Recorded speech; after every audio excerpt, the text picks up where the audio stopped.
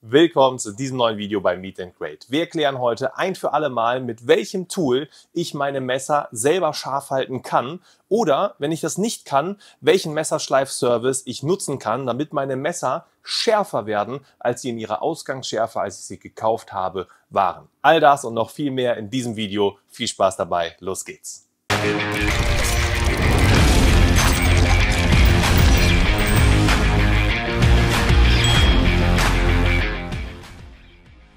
Kurzer Disclaimer vorab. Jedes Messer, egal welches Messer, muss mit der Zeit geschliffen werden. Es kann noch so teuer sein, noch so gut sein. Ein Messer nutzt sich immer ab. Selbst wenn ihr nur eine Tomatenscheibe damit schneiden wollt, dann nutzt dieses Messer während dieses Schneidprozesses schon ab. Wenn ihr dann eine Unterlage habt und das Messer berührt die Unterlage, ist diese meistens noch viel härter als das Schnittgut und dann nutzt ein Messer noch mehr ab. Wie schnell ein Messer abnutzt, das hängt von verschiedenen Faktoren ab vom Stahl, von der Verarbeitung des Stahls und auch vom Schleifwinkel und der Messerklingenstärke an sich. In diesem Video werden wir grundsätzlich für Messer das Schärfen erklären und schauen, welche Methode vielleicht die beste ist. Egal welches Messer ihr benutzt, sei das wie hier in diesem Fall ein Dreilagenstahl oder sei es sogar ein Damaststahl. Wir haben jetzt hier einen sogenannten Damastlaminat. Das ist nicht gelasert, sondern wir haben einen Kernstahl aus einem japanischen VG10. Das ist so die klassischste Art von Damaststahl, die man aktuell kaufen kann. Oder auch ein Volldamast. Hier haben wir beispielsweise ein Volldamastmesser, wo wir wirklich zwei verschiedene Stähle bis in die Klinge, bis in die Schneide vorne hinein verarbeitet haben. Und da haben wir vom Schnittbild mit der Zeit der Abnutzung ja, nicht mehr ganz so glattes Schleifbild, weil einfach der eine Stahl etwas härter, der andere etwas weicher ist und so nutzt es sich ungleichmäßiger ab. Aber auch das können wir mit all diesen Methoden schleifen. Ob das am Ende ja, besser oder schlechter wird, das werden wir im Laufe des Videos testen. Was wir zur Vergleichbarkeit allerdings auf jeden Fall beachten müssen jetzt beim Schleifen ist der Schleifwinkel an sich. Und wenn man es ganz genau nimmt, dann müssen wir eigentlich auch die Stärke der Warte eines Messers beachten. Das ist jetzt ein bisschen fachchinesisch, aber die Warte des Messers ist nichts anderes als kurz vor dem Schleifwinkel des Messers selber die Dicke der Klinge. Und je nachdem, wie dick die dort ist, desto unterschiedlicher sollte der Schleifwinkel sein, damit wir nachher ein schön smoothes Schnittbild haben. Weil, wenn jetzt die Warte sehr dick ist und wir machen dann einen sehr, sehr flachen Schleifwinkel da ist das Messer trotzdem sehr stumpf. Wir müssen ihn trotzdem ein bisschen steiler machen. Wenn wir ihn aber zu steil machen, dann schleifen wir das Messer bis hin zum Messerrücken hier hoch, damit wir überhaupt den Schleifwinkel da reinkriegen. Und das können wir zu Hause kaum beachten, weil die meisten Geräte irgendwo zwischen 8 und 20 Grad Schleifwinkel sich befinden und einen anderen Schleifwinkel können wir nicht einstellen, beziehungsweise wir sind auch in dieser Range irgendwo eingeschränkt. Da gehen wir nachher noch näher drauf ein. Wenn ihr es aber perfekt machen wollt, sage ich direkt vorab, kommt ihr um einen professionellen Messerschleifservice nicht drum herum. Und wir wären nicht Meet and Grade, wenn wir euch nicht diesen professionellen Messerschleifservice in höchster Qualität und ich übertreibe keinen Funken anbieten könnten. Das klären wir aber noch im Laufe des Videos. Erstmal kümmern wir uns um unsere Testkandidaten. An Messerschleifern gibt es verschiedene Techniken. Wir haben hier von Zwilling zum Beispiel einen, wo wir unser Messer durchziehen können, genauso hier wie von DMT auch. Das sind somit die beliebtesten. Dann haben wir hier einen ganz, ganz günstigen vom großen Amazonas, wo ich auch mein Messer durchziehen kann. Müssen wir mal schauen, wie gut das funktioniert. Und dann auch hier, ihr merkt, ich bin so ein bisschen kritischer zu manchen eingestellt, weil natürlich habe ich in meinem Leben auch das ein oder andere schon verwendet und auch das ein oder andere Messer damit schon kaputt gemacht. Und deswegen will ich heute mal schauen, wie die sich wirklich so gegeneinander schlagen. Wir haben hier jetzt auch einen zum Durchziehen, der ist von der Technik so ein bisschen anders aufgebaut müssen wir auch schauen, wie das funktioniert. Dann haben wir ein sehr spezielles Produkt, nämlich den Hall als Rollschleifer. Da gibt es nicht viele Alternativen zu. Ich habe mal eine auch getestet, wo ich überlegt habe, ah, die ist preislich irgendwie attraktiver. Als ich sie getestet habe, habe ich aber gemerkt, nee, sie ist kein wirklicher Ersatz für den Hall. Der Hall ist doch mit Abstand das bessere Produkt. Und wenn ich überlege, wie lange das hält, dann ist das meines Erachtens der einzige Rollschleifer, der in Frage kommt. Liegt auch so ein bisschen an der Marketingstrategie von Hall, weil die sehr, sehr vehement auf ihr Patent pochen und deswegen viele andere Hersteller es schwer haben, hier ein Alternativprodukt auf den Markt zu bringen. Ja, nichtsdestotrotz berechtigt das dieses Produkt im Markt irgendwo. Und dann haben wir noch einen elektrischen Messerschleifer. Da muss ich wenig selber machen Und vielleicht ist das ja die bessere Alternative, auch wenn es natürlich mit Abstand der teuerste unter diesen Produkten ist, die wir hier heute testen. Und der Messerschleif-Service, den ich euch nachher noch vorstelle, der übrigens in der letzten wasserkraftbetriebenen Messermanufaktur Deutschlands, und zwar in der Messerhauptstadt schlechthin in Solingen stattfindet und dort von einem privaten Messerschleifer durchgeführt wird, der kostet pro Messer deutlich weniger als jedes dieser Gadgets hier. Aber natürlich zahle ich pro Schliff. Das bedeutet, wenn ich das Ganze 10, 20, 30 Mal mache, dann lohnt sich eins dieser Gadgets hier auf jeden Fall. Und vielleicht ist ja eins oder mehrere auch davon eine wirkliche Alternative zu diesem Schleifservice. Kommen wir jetzt zu den Testbedingungen. Wir werden hier mit diesem Schaumstoff testen, wie scharf die Klinge ist. Das ist tatsächlich eine offizielle Testmethode, die in vielen Messermanufakturen stattfindet, um zu schauen, wie scharf ein Messer ist. Nicht nur vom finalen Schliff, sondern eben auch in Verbindung mit der Dicke der Warte, wie smooth gleitet das Messer nachher durch den Schaumstoff durch. Das werden wir testen. Das ist so ein bisschen Gefühlssache. Ihr seht es aber auch auf der Kamera. Ich werde es euch beschreiben und dann können wir gemeinsam uns ein Bild bilden, was nachher wirklich eine gute Methode war. Dazu werden wir zuerst einmal die finale Schärfe eines Messers testen. Das heißt, aus der Verpackung heraus, wie scharf ist es? Ist. Dann werden wir es stumpf machen bzw. gebrauchte Messer nutzen, werden die jeweils mit diesen Methoden hier schärfen und danach schauen, wie scharf sind die geworden. Und auch wenn ich in puncto Messer mittlerweile sehr, sehr viel Expertise besitze, weil wir selber Messer entwickelt haben, herstellen, haben herstellen lassen und so weiter, bin ich, was Messerschleifen angeht, doch ein ziemlicher Laie. Das heißt, wenn ich das mit den Produkten hinkriege, kriegt ihr das ganz sicher auch hin. Also schauen wir zuerst mal, wie ein Messer sich verhält, wenn es wirklich scharf ist, wenn wir damit den Schaumstoff schneiden. Dafür nehme ich jetzt hier ein Messer, was fast neu aus der Verpackung kommt. Es wurde zwei, dreimal benutzt und ansonsten hat es aber noch seine finale Schärfe. Und damit werden wir jetzt einmal hier beim Schaumstoff ein paar Teile abschneiden und gucken, wie tief gleitet es durch den Schaumstoff durch. Durchschneidet es den Schaumstoff komplett, wirklich nur mit seinem eigenen Druck können wir da durchgleiten. Schneidet es ihn komplett ab, können wir den möglichst dünn abschneiden oder zerdrücken wir den Schaumstoff. Und all das könnt ihr jetzt auch auf der Kamera mitverfolgen.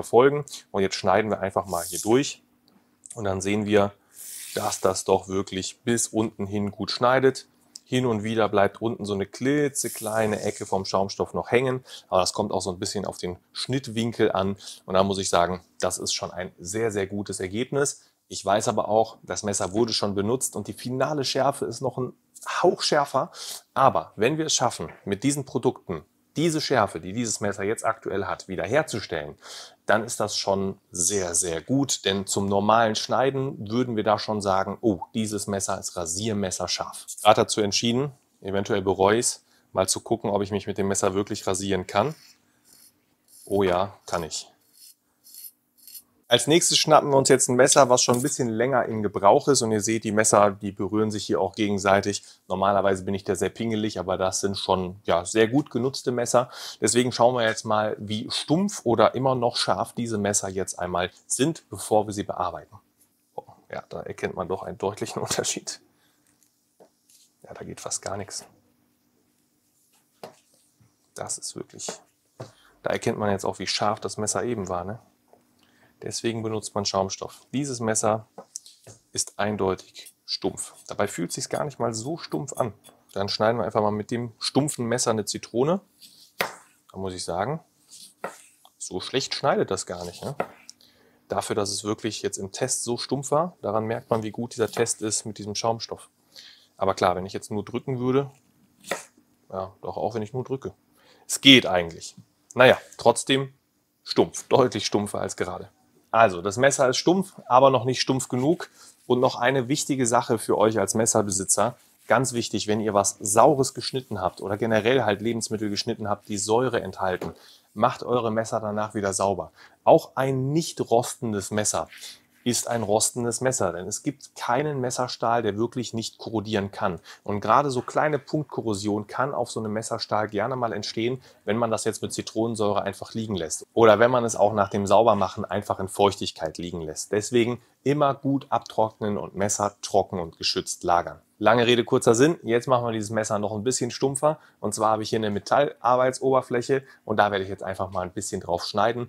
Das simuliert einfach, als würde man auf einer sehr harten Oberfläche sehr häufig irgendwas geschnitten haben. Und das tut jetzt so ein bisschen weh, aber alles für die Wissenschaft. Ne?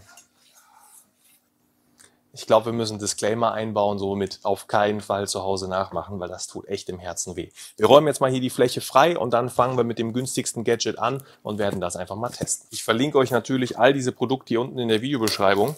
Schreibt euch allerdings nicht dazu, welches jetzt gut ist und nicht, weil ihr sollt ja das Video bis zum Ende schauen. Deswegen schaut das Video bis zum Ende und kauft nicht einfach irgendwas davon, weil noch kann ich euch wirklich nicht sagen, welches davon überhaupt empfehlenswert ist.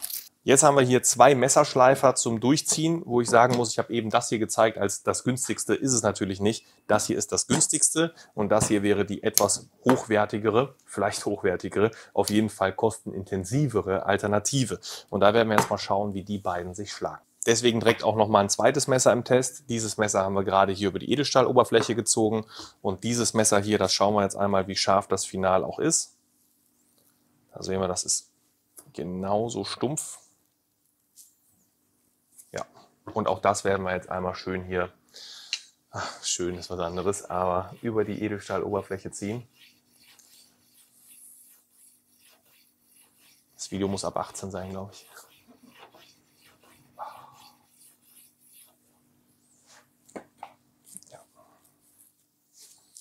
das kann man vergessen. Bei dem günstigen von Amazon haben wir 1, 2, 3. Wahrscheinlich bedeutet das zuerst durch die 1, dann durch die 2, dann durch die 3. Bei dem anderen haben wir es ein bisschen andersrum aufgebaut. Ob das auch andersrum gemacht werden soll, da muss ich mir mal kurz die Anleitung durchlesen. Wobei, hier ist keine dabei, doch auf der Rückseite. Stufe 1. Stufe 1 ist Wolframkarbid, grob. Diese Stufe schabt regelrecht Metallspäne von ihrem Messer ab. Okay, drei bis viermal leicht durchziehen, danach Diamantstäbe. Mit dieser Stufe wird das Messer grob geschliffen, mehrmaliges leichtes Durchziehen, acht bis zehn Mal ist empfohlen. Und dann die Keramikstäbe fein, diese Stufe ist für den Feinschliff verantwortlich.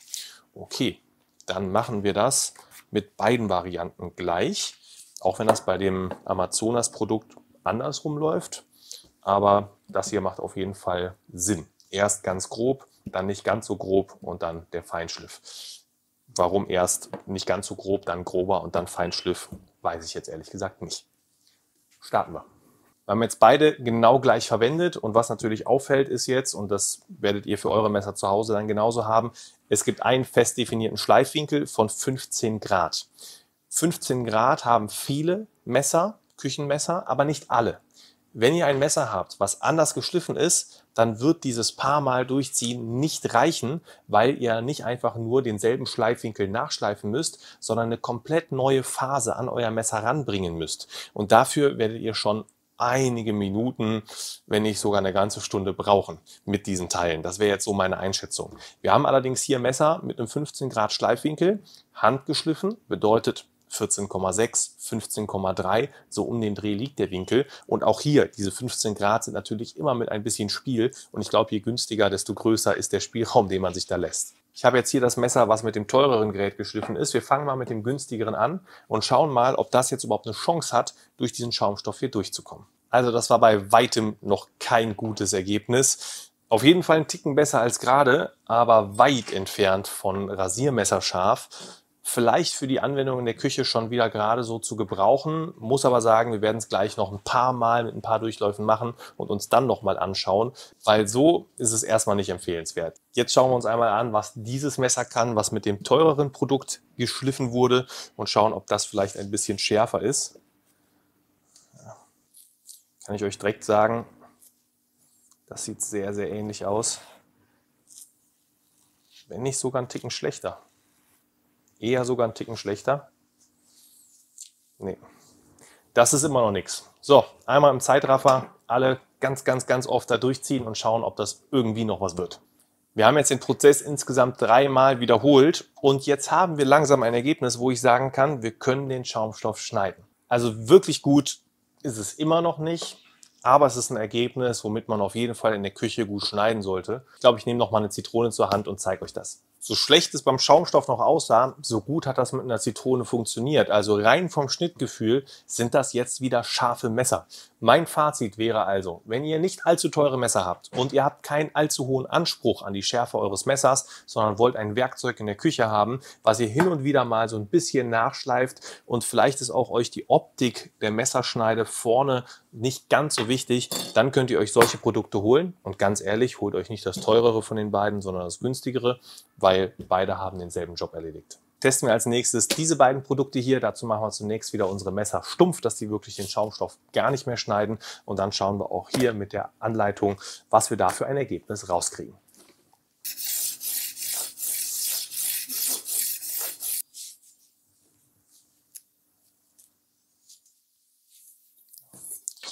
Das können wir wieder vergessen. Die sind stumpf. Jetzt wird es schon deutlich komplexer, wobei der hier noch relativ simpel ist. Wenn wir das hier eingespannt haben, dann ist nur wichtig, dass wir das Teil hier festhalten und dass wir unser Messer hier einmal mit einer Linksdrehung in diese Richtung ziehen und mit einer Rechtsdrehung in diese Richtung ziehen. Ich hoffe, dass ich das richtig mache. Zumindest steht so in der Anleitung drin. Das ist auch eine, ja, vielleicht nicht ganz so gut aus dem Chinesischen übersetzte Anleitung. Und dann haben wir hier das zweite Produkt von Zwilling und hier haben wir noch viel mehr Möglichkeiten. Wir haben zwei verschiedene Körnungen. Einmal etwas grober, einmal etwas feiner. Und wir haben zwei unterschiedliche Einstellungen. Die nennen das deutsche Messerschliff und japanischer Messerschliff. Letztendlich wird das mit dem Schleifwinkel zu tun haben. Den deutschen Schliff als 15 Grad, den japanischen als 10 Grad Schleifwinkel. Und das sind dann diese Adapter hier. Wir packen mal die 10 Grad weg, machen es mit den 15 Grad. Was cool ist, dass wir hier wenigstens schon mal zwei verschiedene Winkel einstellen können. Auch wenn die Möglichkeiten jetzt nicht vielfältig sind, aber immerhin zwei Möglichkeiten. Dann würde ich sagen, ziehen wir jetzt die Messer erstmal zehnmal jeweils hier durch. Hier haben wir zwei Körnungen, hier eine. Vielleicht machen wir hier erstmal nur die grobe. Falls es nicht reichen sollte, nachher einmal die grobe und die feine. Wobei ich sagen muss, dann wird es auch schon sehr umständlich, weil man muss die wieder rausnehmen, die neuen da reinmachen, wieder alles zusammenbauen, wieder schleifen. Das wäre schon sehr aufwendig, wenn man das machen muss. Wir nehmen jetzt erstmal die grobe, weil die Messer ja auch ziemlich stumpf sind, damit wir ein bisschen Materialabrieb haben. Hier haben wir nur eine Einstellung. Jetzt ziehen wir es zehnmal für die eine Seite, zehnmal für die andere. Hier zehnmal gleichzeitig für beide Seiten durch. Das Messer, was wir mit dem, ich nenne es jetzt einfach mal X-Schleifer hier geschliffen haben, mit dem günstigeren Gerät, ja, das hat nicht besser abgeschnitten als die Geräte vorher beim Schaumstoff. Bei der Zitrone könnte das natürlich jetzt auch wieder relativ gut aussehen, weil vorher waren die Messer bei der Zitrone ja auch tatsächlich schon sehr scharf. Und ja, also wenn man hier durchschneidet, das fühlt sich genauso an wie gerade eben auch. Das heißt, für den normalen Einsatz in der Küche ist das ausreichend, aber trotzdem noch kein wirklich gutes Ergebnis, muss ich sagen. Und das sieht mit dem teureren Gerät hier von Zwilling, mit den Schleifsteinen zum Einsetzen, anders aus. Nur zehnmal durchziehen hat nicht viel gebracht. Zwar schon Ticken schärfer als hier. Und da habe ich gedacht, oh, das ist vielversprechend. Und dann haben wir es noch ein paar Mal mehr gemacht mit den groben Schleifsteinen. Danach dann noch mal ein bisschen mit den feinen Schleifsteinen. Und dann muss ich sagen, mit dem Schaumstoff sieht das wirklich gut aus. Das ist noch nicht diese Rasiermesser scharfe Schärfe, die das Produkt am Anfang hatte. Aber das ist wirklich eine Schärfe, wo ich sagen muss, das haben die anderen Geräte bei weitem noch nicht gezeigt. Und das wird sich wahrscheinlich bei der Zitrone ja genauso zeigen. Also das ist wirklich jetzt gerade fast, als würde ich durch Butter schneiden. Ich merke noch so einen klitzekleinen Hauch an Widerstand, aber wirklich nicht der Rede wert. Hier würde keiner mehr sagen, dass dieses Messer auch nur ansatzweise stumpf ist. Bisher in unserem Test das mit Abstand beste Ergebnis. Im nächsten Test haben wir jetzt nicht günstig gegen teuer wie bisher, sondern wir haben hier einen elektrischen Messerschleifer und die sind leider immer mit einem gewissen Preispunkt belegt. Deswegen werden wir jetzt das noch stumpfere Messer einmal wieder komplett stumpf machen, in der Hoffnung, dass der ähnlich scharf schärft wie jetzt gerade der von Wüsthoff, nee, Zwilling, den wir hatten. Zwilling, Entschuldigung. Ist alles nicht gesponsert. Von keinem hier kriege ich Geld. Ich darf die Markennamen ruhig sagen. Äh, ihr könnt am Ende das kaufen, was euch am meisten überzeugt hat, beziehungsweise mein Fazit irgendwie einordnen und dann kaufen, was ich vielleicht empfehlen kann. Wie gesagt, alles ungesponsert. Jetzt haben wir hier Wüsthoff, deswegen kam ich gerade auf Wüsthoff, und zwar einen elektrischen Messerschleifer. Und wenn der das Messer ähnlich scharf macht wie das, machen wir beide nochmal stumpf, dann haben wir wieder ähnliche Ausgangslagen und dafür machen wir dieses Messer jetzt einmal stumpf und schauen, wie scharf der schärft. Das machen wir direkt hier hinter, damit das keiner ansehen muss, was wir hier machen. Ah, so. Schauen wir mal. Ja. Das ist wieder stumpf. Oh Mann, noch nie so darüber gefreut, dass ein Messer stumpf ist. So. Beim elektrischen Messerschleifer haben wir jetzt wieder nicht unterschiedliche Schleifwinkel, die wir einstellen können. Dafür haben wir aber noch mehr Möglichkeiten in der Körnung unserer Schleifbänder, die wir hier haben. Da können wir von sehr, sehr fein bis hin zu sehr grob einstellen. Wir haben jetzt hier wieder eine relativ grobe Körnung, damit wir auch ein bisschen Materialabrieb haben. Und dann können wir jetzt hier noch die Geschwindigkeit einstellen, wie schnell sich dieses Band drehen soll. Die erste Stufe, um das Messer einfach ein bisschen wieder aufzufrischen. Die zweite Stufe, um es zu schleifen. Und die dritte Stufe, um ein Messer, was vielleicht schon ein paar Klingenausbrüche hat, wieder zu einer Klinge zu machen. Ihr merkt, es unterscheidet sich hier nur in der Geschwindigkeit und letztendlich ist es also egal, welche Geschwindigkeit wir nutzen. Langsam dauert langsamer, schneller geht schneller. Wir müssen nur rechtzeitig das Messer dort wieder rausziehen. Deswegen werde ich die mittlere Stufe jetzt einfach mal nutzen, das Messer von beiden Seiten nach Gefühl mal da dran halten, schauen, wie scharf es ist und dann schauen, wie lange braucht es, um es wirklich wieder final scharf zu kriegen und wird es überhaupt wieder final scharf. Das Ergebnis nach einigem Rumprobieren ist ein bisschen ernüchternd, weil ich mir sehr viel davon versprochen habe. Es ist tatsächlich besser als die ersten drei Geräte, die wir getestet haben, aber ein Ticken schlechter als das Teil von Zwilling. Wobei ich sagen muss, wahrscheinlich kann der mehr. Es erfordert aber tatsächlich viel Übung und viel Fingerspitzengefühl, das Messer im richtigen Winkel mit dem richtigen Druck perfekt an allen Stellen gleichmäßig an diesem Band vorbeizuziehen. Das ist zum Messerschleifen zu Hause finde ich fast zu umständlich. Da würde ich mir lieber angewöhnen, mit normalen Nassschleifstein ein Messer zu schleifen, weil das ist das Nonplusultra. Wenn man das kann, braucht man all das hier nicht mehr. Aber es geht ja gerade darum, zu Hause sein Messer leicht und einfach schleifen zu können. Deswegen zeige ich euch auch das mit einem Nassschleifstein nicht, weil erstens kann ich selber nicht und zweitens, gut, wenn man das kann, braucht man sich sowieso keine Gedanken darum machen und dieses Video erst recht nicht ansehen. Und das hier geht in eine ähnliche Richtung. Deswegen, ja, es geht auch als Laie aber es ist schon sehr umständlich. Wir nehmen uns mal wieder so eine kleine Zitrone zur Hand und schauen mal, was das Messer damit macht. Ich würde mal, ja, butterweich. Ja, doch. Vom, vom Schnittbild der Zitrone würde ich sagen, ist es mit dem Zwilling eins auf. Also genauso und wahrscheinlich mit ein bisschen mehr Übung und so weiter kriegt man es noch besser hin. Wenn ihr also Bock habt, das zu üben und ja, ein paar hundert Euro dafür ausgeben wollt, holt euch so ein elektrisches Gerät. Das wird auf jeden Fall gut werden vom Ergebnis, ist aber teuer und aufwendig. Und da ist die Frage, will man das oder arbeitet man dann mit einem Schleifstein? Das muss jeder für sich selbst wissen. Kommen wir nun zum Kampf der Giganten. Warum sage ich das? Weil der Hall mal verglichen wurde mit diesem hier in einem sehr, sehr oft gesehenen Video. Und dabei, ja, war der Hall wohl nicht ganz so gut und er hat nicht ganz so gut abgeschnitten bei dieser Bewertung. Man muss dazu sagen, das war der Hall 1.0. Das hier ist mittlerweile die 2.0 Variante.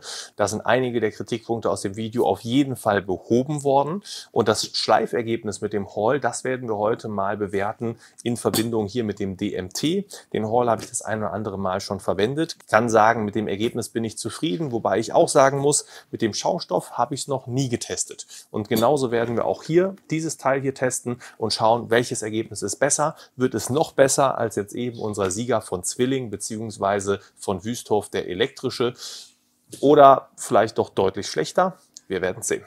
So ein wirklich klarer Sieger steht jetzt für mich nicht hundertprozentig fest. Ich muss sagen, der Hall ist absolut ungefährlich und auch sehr einfach in der Anwendung, funktioniert tadellos.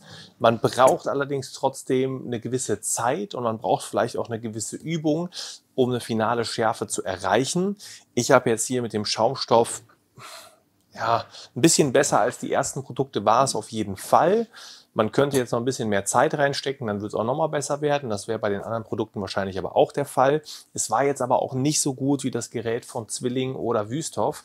Und hier haben wir jetzt auch etliche Male durchgezogen und es wurde immer besser und besser. Und das ist auf jeden Fall auch das, ich sage jetzt mal leichtere Gerät, aber vom Sound her auf jeden Fall das ekligste. Moment. Kommt das auf der Kamera auch so eklig rüber? Auf jeden Fall quietscht es extremst unangenehm in den Ohren ist vom Schnittbild aber ja ungefähr genauso. Ich will da jetzt keinen, keinen Sieger festmachen, ob der Hall besser ist oder das Produkt besser ist, kann ich wirklich nicht sagen. Wir nehmen nochmal unsere Zitrone hier zur Hand, dann seht ihr das auch nochmal mit einem Lebensmittel, weil das ist ja das, wo wir nachher auch wirklich mit arbeiten. Uh, das geht wie durch Butter. Hauchdünn. Kann man das hier? Kann man bestimmt zeigen. Also wirklich hauchdünn. Da muss ich sagen, verhält es sich jetzt sogar noch ein bisschen smoother, als die anderen das getan haben. Auch wenn das beim Schaumstoff hier aber auch. Oh ja. Genauso. Also, wie gesagt, möchte ich keinen Sieger ausmachen. Beides gute Ergebnisse, wobei das Ergebnis von dem Schleifgerät von Zwilling vielleicht ein Hauch besser war. Jetzt fehlt eigentlich nur noch ein Test und zwar der vom Messerschleifservice. Und da habe ich euch ja eben schon erzählt, wo wir das Ganze machen lassen. In Solingen, genauer gesagt in Wipperkotten, in der letzten wasserkraftbetriebenen Messermanufaktur bzw. Messerschleiferei. Es ist eigentlich mittlerweile nur noch ein Museum, aber genau dieses Museum können wir unterstützen, dadurch, dass wir mit denen zusammenarbeiten, die für uns die Messer bzw. für euch die Messer schleifen. Ich verlinke euch dazu einfach den Link unten in der Videobeschreibung, dann könnt ihr das buchen. Schickt eure Messer dorthin. Sie werden professionell geschliffen. Das bedeutet, es wird sich genau die Warte, also die Dicke des Messers angeschaut, der Schleifwinkel, der perfekt dazu passt. Dann wird dieser Schleifwinkel per Hand an euer Messer angeschliffen. Dann wird sich das nochmal genau angeschaut, ob alles passt. Dann wird das Ganze getestet und ihr bekommt euer Messer zurück mit einer Schärfe, die es wahrscheinlich von Anfang an nie hatte. Ich habe ein solches Messer natürlich hier. Das wurde dort persönlich geschliffen. Wir haben euch das jetzt eingeblendet, ihr habt es bereits gesehen und da zeige ich euch das Ganze jetzt einfach nochmal mit dem Schaumstoff. Dann werdet ihr sehen, wie scharf das Ganze ist. Ich glaube, besser geht es nicht. Natürlich ist es wichtig, richtig und auch löblich, deutsche Handwerkskunst zu unterstützen. Allerdings wird das natürlich auf Dauer auch die teuerste Methode sein, denn wenn ich jedes Mal ein paar Euro zahle für den Schliff, dann habe ich so eine Investition, wenn ich es hiermit auch hinbekomme, irgendwann raus. Bei solchen Produkten schneller, bei solchen Produkten hier weniger schnell. Trotzdem muss man sagen, das Ergebnis mit all diesen Produkten hier ist bei weitem nicht so gut geworden. Das liegt allerdings auch daran, dass ich da drin kein Profi bin. Ihr könnt euch mit einem Haul in bestimmten Facebook-Gruppen einfach mal umschauen, was die Leute mit so einem Produkt machen. Die kaufen sich teilweise Messer, die 250 Euro, 1000 Euro kosten und bevor sie diese Messer überhaupt nutzen, schleifen die die erstmal mit dem Haul richtig scharf kein Scherz. So verrückt sind viele Leute und deswegen muss man sagen, der Hall kann viel mehr, als ich hier im Video gezeigt habe. Und auch die anderen Produkte werden viel mehr können. Hier bin ich mir nicht ganz so sicher, aber hier bin ich mir ganz sicher, hier bin ich mir sicher, hier bin ich mir sicher.